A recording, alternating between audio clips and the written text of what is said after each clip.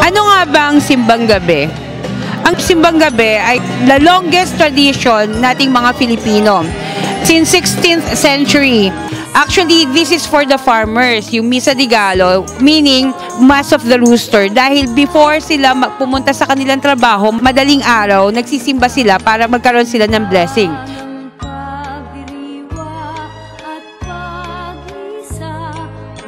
Such a privilege to encounter our ambassador of the Holy See. Ma'am, for you, what is Simbang Gabi? Unang-una po, a blessed Merry Christmas and a Holy Happy New Year. Ang simbang gabi po talaga is a novena mass. Actually, I think in honor of Mama Mary to prepare us for the birth of Christ, yung anak niya. Anong kahalagahan ng Simbang Gabi?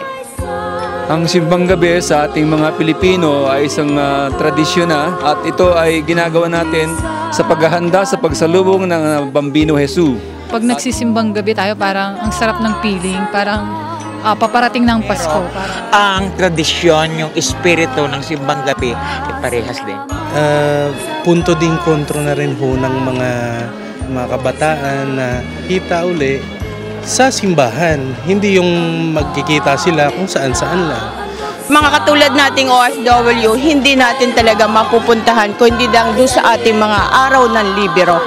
Para po sa akin, ito po ay napakasayang tradisyon po ng Pilipino na masayang ipagdiwang talaga para po mapalapit palalo sa Panginoon. pagkakaroon ng pagkakaisa ng isang pamilya, pagmamahalan, at ah, pagsusunuran. pagsasama-sama, pagmamahalan at pagbibigay ng kahalagahan kung ano yung ah, ang pakapanganakan ni Jesus. paano mo ipadama sa pamilya yung pagmamahal bilang isang Kristiyano. Paggunita sa pagdating ng ating Panginoon. But that particular Sunday, nung linggo, when Lolo Kiko or Pope Francis said the Mass for us, it's a recognition. It's like he was launching Simbang Gabi as a way to celebrate Christmas. And it's truly Filipino. You know that we have the longest Christmas in the world, but this Simbang Gabi is particularly Filipino. So, isa pong napakagandang blessing yung nangyari. And sana po, yun ang magpaalab lalo ng pananampalataya natin through the masses of Simbang Gabi. So, sa ating po lahat na nakikinig, sinabi ko na nga po, maligayang Pasko at manigong bago taon and keep going to the Simbang Gabi masses and even beyond. Try to go to Mass every day.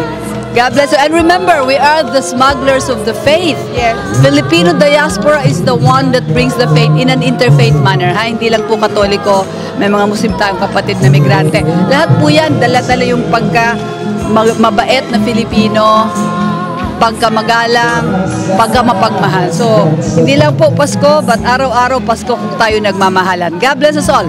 Thank you.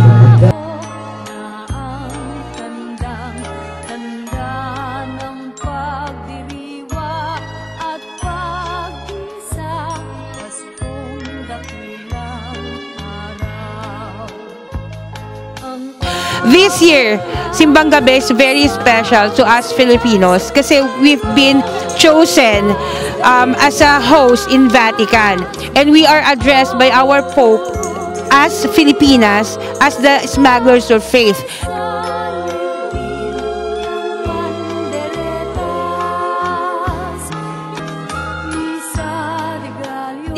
Bati po, tayo sa mga friends. And Frida. Maligayang Pasko! Merry Christmas po sa mga na nandito po sa Roma, sa inyong po mga pamilya. Ay, binabati ko po ang aking pamilya. Ah, nandito po ang, ang buong ah, grupo ng Eagles. Ah, salamat po ng marami. Binabati ko po yung tsahin ko dyan, yung lola ko dyan. Nandito na ako, artista na ako. Uy, ano ba? Lahat na, ninong, papasko ha? Tsakas. Merry Christmas!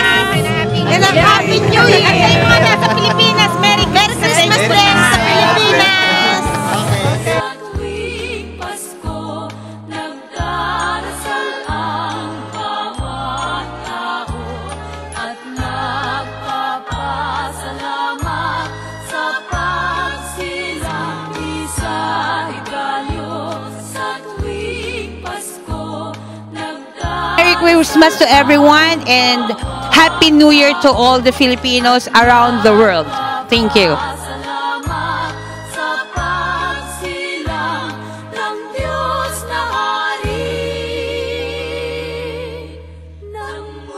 Oh.